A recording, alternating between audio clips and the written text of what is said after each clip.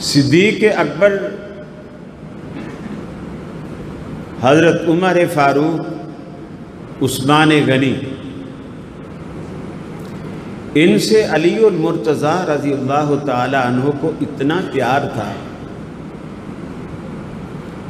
कि हज़रत अली के बेटों में एक नाम अबू बकर का भी है। एक नाम उमर का भी है। और एक नाम उस्मान का भी। और अलामा साहब कहा करते थे कि दुनिया में एक किताब भी ऐसी नहीं है जिसमें वाक़ करबला हो और हज़रत अली के बेटों का ज़िक्र ना हो। और ये बेईमान उसे नहीं बयान करते।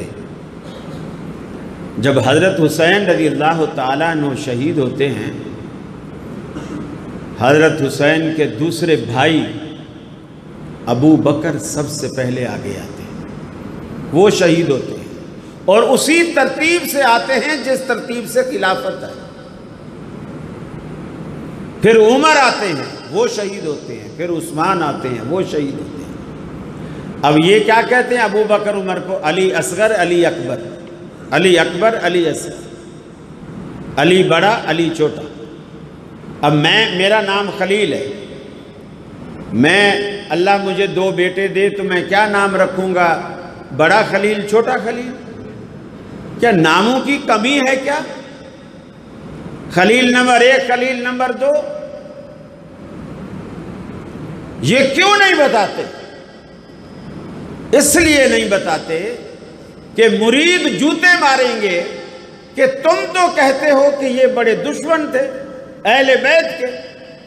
अगर इनकी दुश्मनी होती तो दुनिया में कोई ऐसा शख्स है जो अपने बच्चों के नाम, अपने दुश्मनों के नामों पे रखता हो। ऐसा कोई शख्स है? हमेशा बाप अपनी औलाद के लिए जिन नामों का इंतखब करता है उन नामों के साथ उसे वालहाना प्यार होता है। उसकी अकीदत होती उसकी आजमत होती उसकी मोहब्बत होती